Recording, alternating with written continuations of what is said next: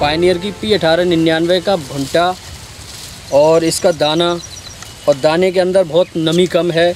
ये देखकर मुझे बहुत खुशी हुई कि मैं अदर कंपनियों की अब तक जो मक्का लगाता था, उनमें ये खासियत नहीं थी। बल्कि इसका भुंटा भी देखने में बहुत ही शानदार और बहुत लंबा है और वजनदार भी है। और इसकी एक खासियत और है कि इसकी छूँच बहुत ही पतली है अदर मक्काओं के बराबर। जैसे कि मैंने दो तीन कंपनियों की मक्का लगाई थी, मगर मैंने इतना हैवी भुंटा उनमें नहीं देखा। और इसका भुंटा देखकर मुझे बहुत खुशी हुई कि अगर मैं पी अठारह निन्यानवे लगाता तो शायद कई गुना पैदावार अदर मक्काओं से ज़्यादा पाता।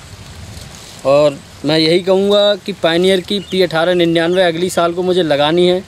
पायनियर पी अठारह निन्यानवे, दमदार वजनदार और शानदार।